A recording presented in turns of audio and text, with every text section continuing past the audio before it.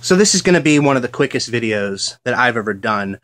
This was a request. People said, Jesse, the entire flat earth movement is being saturated by a question about this specific video. We, we watch it, we like it, there's a weird feeling, we don't really know what's going on. Do you see anything strange? And of course I see something strange but I've been ostracized from certain groups. I'm like the controversial flat earther. So let me just keep on with that reputation. And I'm going to call out uh, everybody's favorite, Jeran of Jeranism. Again, Mark Sargent, Lori Frary, and even people like Wakey Wakey. You guys are not just sharing a link to this one specific video you are mirroring this video and you're putting it in everybody's face and saying the flat earth movement needs to become about this new exciting concept. Well, let's just check in with each other. Last I checked, we had Neil deGrasse Tyson cornered.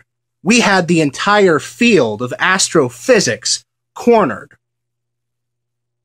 So, Jeran, why are you trying to all of a sudden spring a leak with the field of geology, where now you can have a team of geologists just walk in with just a couple of newspapers and a couple of articles online or even on television saying if the flat earthers believe this thing about geology, well, we have simple, repeatable, observable science that shows you for a fact that they're all nut jobs.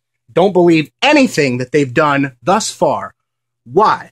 Why would you abandon the astrophysics angle and open it up to the geologists who had nothing to do with this debate beforehand. Entire fields and departments of geology now have a foothold in the flat earth movement where they never did before. Is this part of some sort of mockingbird project that we're going to see repeated, echoed out in the media?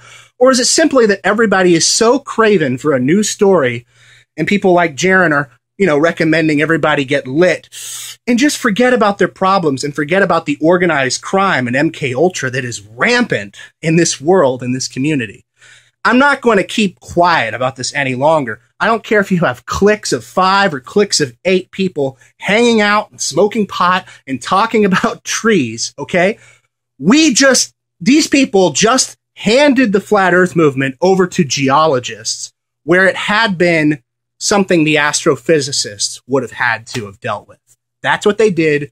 They just conceded your entire movement, and I had nothing to do with it. So thank you, Jeran. Thank you, Mark Sargent. Thank you, Lori Frary. Thank you, everybody who wants to be enlightened and smoke a little pot and learn something new.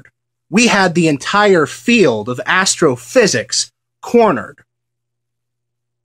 So, Jeran, why are you trying to all of a sudden spring a leak with the field of geology, where now you can have a team of geologists just walk in with just a couple of newspapers and a couple of articles online or even on television saying if the flat earthers believe this thing about geology, well, we have simple, repeatable, observable science that shows you for a fact.